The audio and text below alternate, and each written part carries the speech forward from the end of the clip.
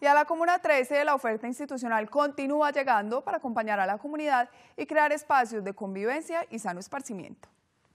La caravana de la convivencia llegó al barrio El Socorro de la Comuna 13 de Medellín con talleres, asesorías, juegos infantiles y otras actividades que buscan mejorar la vida en comunidad. Las caravanas de la convivencia son una estrategia de intervención territorial que tiene la alcaldía de Medellín, en la que vamos a lugares en los que históricamente hemos tenido problemas de convivencia o seguridad. El objetivo es continuar realizando una gran inversión social en esa comuna para alejar a sus habitantes de la violencia que los ha quejado durante varios años. Me parece pues una integración muy buena, muy agradable para los niños.